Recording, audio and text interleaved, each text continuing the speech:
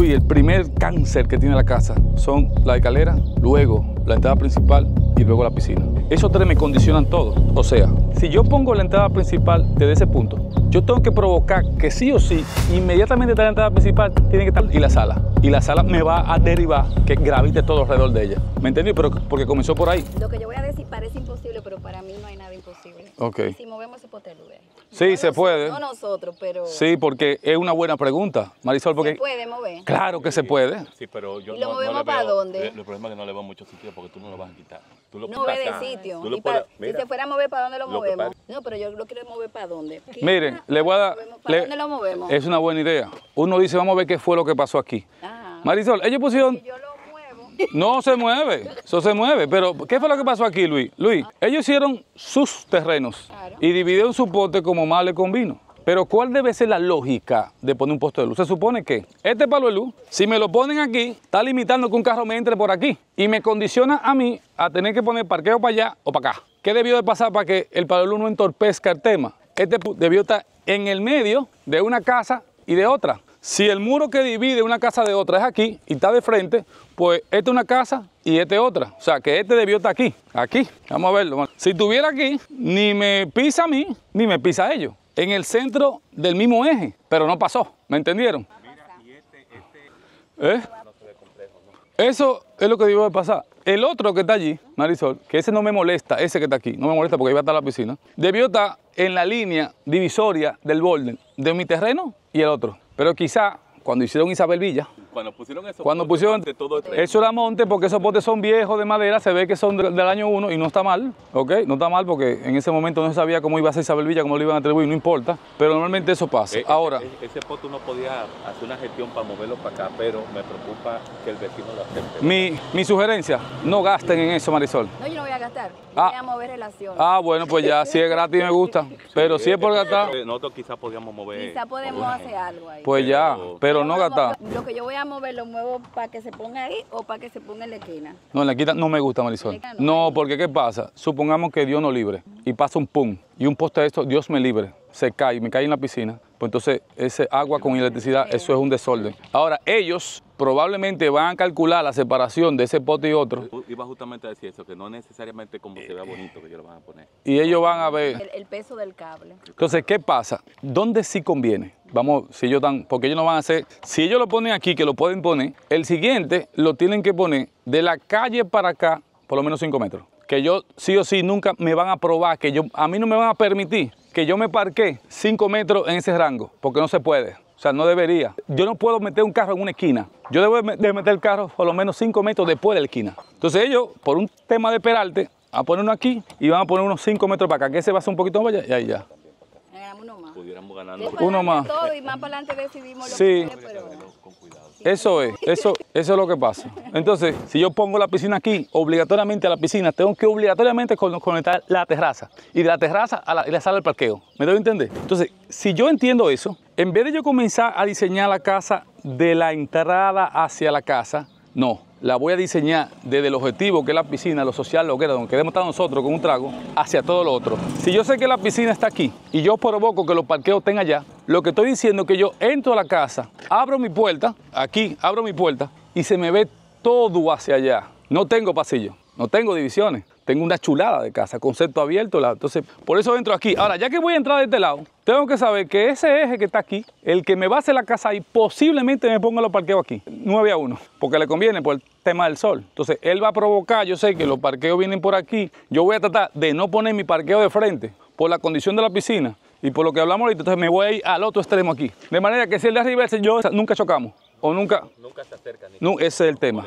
Es como visualizar el futuro. De aquel lado, en esta, en este, no me interesa mucho. Porque en este solar igualito tenemos aquí el y no puede haber un acceso porque también va a estar la piscina. La piscina no combina ahí por tema de sol. Ahora, ¿qué, qué pasa? Fíjense, fíjense en esto. ¿Qué hora es? Son las como las 9, ¿verdad? 10, 9 y 40. Cuando vengan los nietos, esto es una hora de ellos de piscina. Bueno, si este es el solar y son las 9 y 40, ¿hacia dónde me está dando la sombra? Hacia allá. O sea que si yo tuviera un edificio que soy yo y pusiera la piscina ahí, la piscina ahí se me cubre de sombra, ¿sí o no? Si yo tengo aquí mi piscina, yo tengo que provocar, calcular la altura de mis dos pisos para que a las 9 de la noche ellos tengan sol. ¿Qué quiere decir eso? Que tengo que echar la casa lo más para allá posible, lo más para allá posible.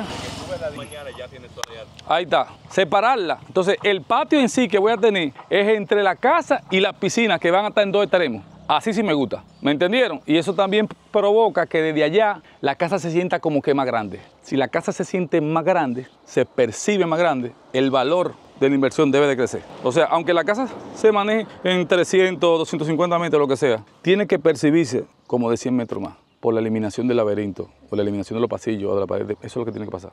La inversión me tiene que hacer sentido como negocio, ya independientemente de que ustedes vivan. ¿Me entendieron? ¿Qué tan desnivelado lo ves el terreno? Ok, es una buena pregunta. Por ejemplo, vamos a analizarlo así. ¿Qué es lo que me gusta del sitio? Cuando yo tengo un terreno que es desnivelado, lo que me preocupa son dos cosas. La primera, que se me inunde. Entonces yo digo, no se me va a inundar porque cuando veo para allá, No estamos, estamos en una estamos en un punto alto. Y cuando vengo para allá, pues estamos bien. Entonces, inundación no es. De hecho, hay pendiente hacia allá. Sí, ahí O sea que Ideal. No, no. Con el dron nos vamos a dar cuenta de la coordenada, la altura que estamos, pero ya por la experiencia yo sé que to- aquí no se va a inundar. Si no se va a inundar, Marisol, este es mi suelo, yo no tengo que gastar ahora mismo en subir. No tengo que gastar en subir. Como yo digo siempre, 30 centímetros, aquí no. Aquí eso me lo ahorro y se lo pongo a la piscina. ¿Me entendieron? Pero antes teníamos el cuco de que se iba a inundar. Calderón decía, sí, se va a inundar. Luz", Y había que caer no subir aquí. Y nosotros me hacían más rico a mí. Por el cuco no. Entonces aquí no. Lo otro, con el suelo, a simple vista parece que está plano, pero no está plano. ¿Ok?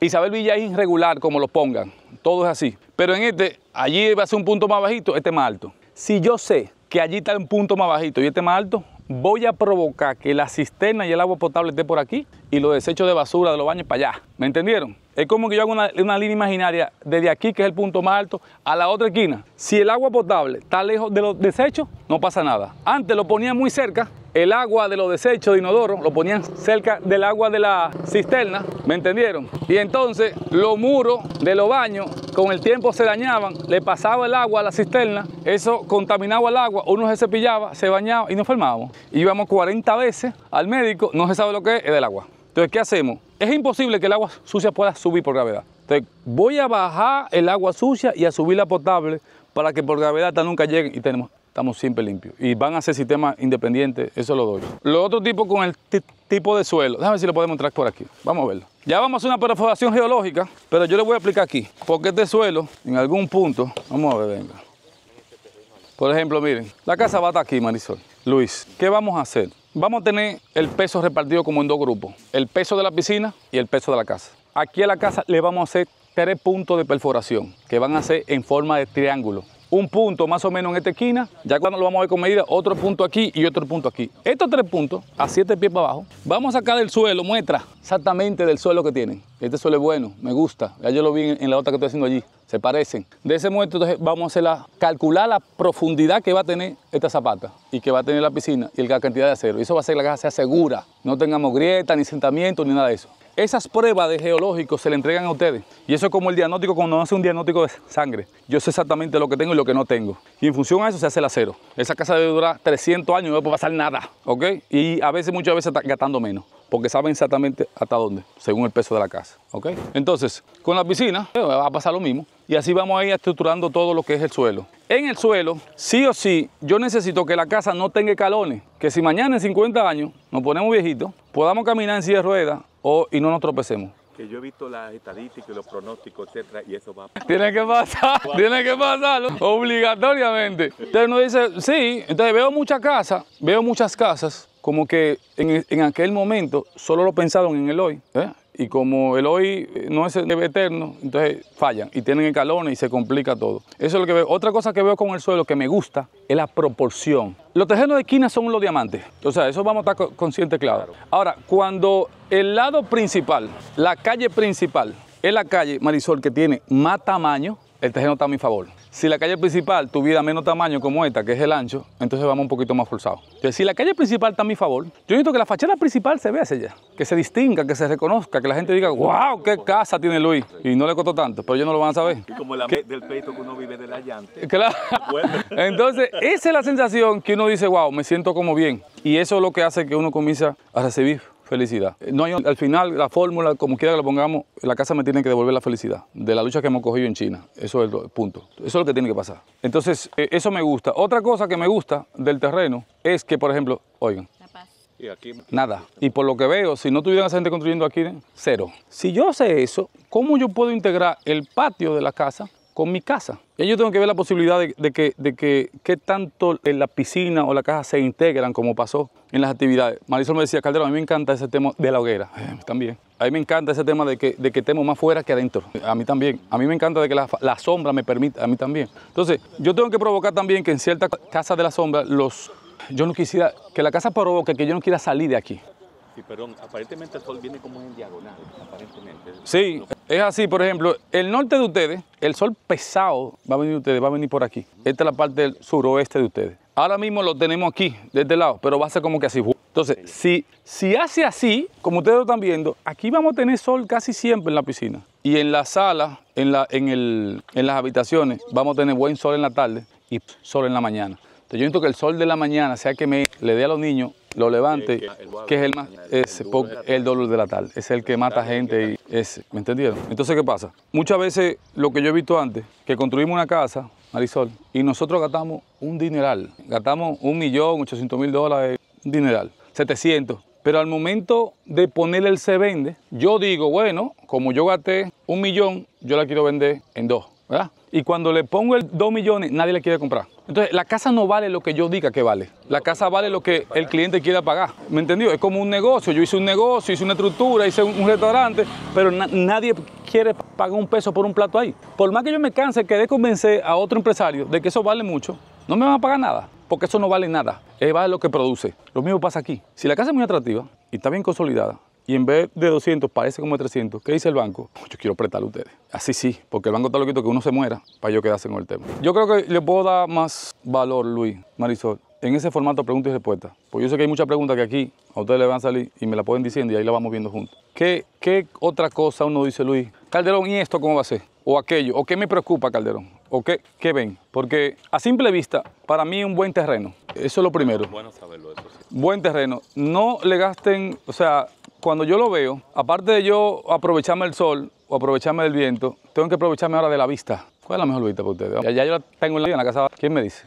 La mejor vista. La mejor vista. Si yo me levanto en el segundo piso de mi habitación y salgo y abro el balcón, yo quiero que se vea para. Como sabe qué, qué hace aquí. Sí. Ahora, ahora mismo la mejor viste para allá. pero Claro. Sé mañana se van a tumbar. todo Esa, esa es la mejor. Yo pienso que sí. mismo. Porque, ¿qué pasa? Son las 9 de la mañana. Lo que yo tiene que pasar, Marisol, es que si este es mi terreno y yo pongo, abro el concepto abierto hacia adelante, hacia donde está la piscina, tengo que tratar de que mi balcón tenga esta vista para que el café, cuando me lo esté bebiendo en la mañana, el sol me dé por atrás. El sol, esta casa me va a generar sombra a mí, sin ello quererlo. Entonces, lo que hace es que cuando el sol me da por atrás, yo atrás de la habitación, ¿qué pongo? Los closets pongo los baños. El sol le da a los closets, a los baños y deja adelante el balcón con el café frente a la piscina. ¿Qué es lo que va a pasar? Entonces ahora sí, el sol es que me está diseñando mi casa, ni siquiera yo. Y si yo alineo eso con la mejor vista, voilà, se da Y la ubicación que, que ves que le queremos dar. perfectamente. Ahí lo que vamos a cambiar, y hay cosas que cambiar, es el tema del acceso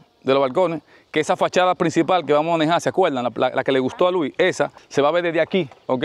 Esa fachada principal va a ver aquí, pero la fachada de la piscina se va a ver de allá para acá. Es como una combinación de los dos conceptos, adaptado al, al- al lugar. Porque, porque esa casa que nosotros te enseñamos, o sea, Es tiene el frente y en la parte de atrás es que tiene, digamos, que la piscina. Exacto. En este caso, el lateral.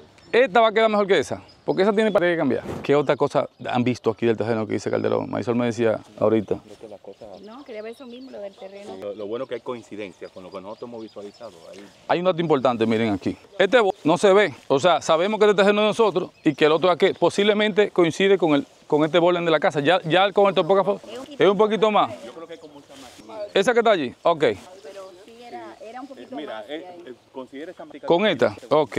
¿Qué vamos a hacer, Luis? Yo voy a venir con el topógrafo, ok. Y vamos a tirar una línea en función al catastral.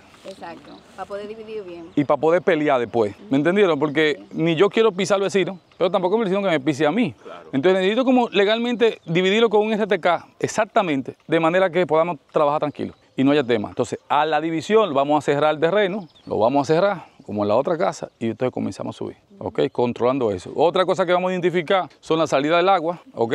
Del drenaje y también la línea eléctrica ya están por aquí, que también la, la tenemos que ubicar bien. Y también eh, necesito que definamos el área de servicio. O sea, que el control con el gas no interrumpa la actividad de la casa. Que el control eléctrico no interrumpa la actividad de la casa, que el mantenimiento sea lo más cero posible. ¿Me entendieron? Y eso es otra cosa. Con el tema de la seguridad, ustedes también, porque están en una, una excelente zona. No es que somos santos, eh, Isabel Villa no es que está blindada, blindada, blindada, pero, tiene mucho control. No me, no me preocupa. No preocupa eso. Entonces, si ya no tengo tanta preocupación de la, de la zona, puedo abrir un poquito más la casa, un concepto más abierto. Casas que no tienen hierro en la ventana. Eso es ideal, eso es ideal. Porque parecen una jaula, es ideal. Me gusta así, ¿ok? Eh, ¿qué ¿Cuáles son las cosas preocupantes? Vamos a hablar de lo preocupante. Y es, es el tema de la seguridad en la estructura. ¿Me entendieron? Antes lo que pasaba era que los jóvenes, por miedo a que se caiga, le ponían cosas de más. Le ponían columna de más, lógicamente. O sea, eh, una, una, una persona que tiene miedo a que se caiga le va a poner por miedo cosas de más. Aquí lo que debe pasar es lo contrario. Sí, la casa debe ser muy segura, pero con números, con estudios, con geológicos, con datos. Si yo hago que, que el peso de la casa se divida simétricamente, yo puedo bajar la cantidad de hormigón que es caro, bajar la cantidad de acero y tener una casa más segura que la que no, que la que no lo hacen así. ¿Me doy a entender? Y eso es lo que hace que ustedes puedan tener un concepto más abierto y no una columna en el medio de la sala. Que por Dios, ¿me entendieron? Entonces, eso es lo que debe de pasar aquí. El, el cáncer también que yo veía antes con las casas eran los techos bajitos. Entonces, mm, Fóbrico. Entonces, Sí, una, casa, una casa inmensa que se va pequeña. esa casa, por ejemplo. Esa casa yo de verla, ya yo sé por la altura de la ventana, que ese, que ese techo interior, y por cómo están, a la altura que están esos aires allá arriba, ese techo tiene que tener como 280 de piso a techo. Es un estándar. No debe- esa que ustedes ven allí, yo veo esa silla, ese balcón, esa que ustedes ven ahí, y ese techo también tiene 260, muy bajito. Este que está aquí también tiene 265, muy bajito. Aquel, y voy viendo que todas la hicieron, pero ya no lo pueden cambiar.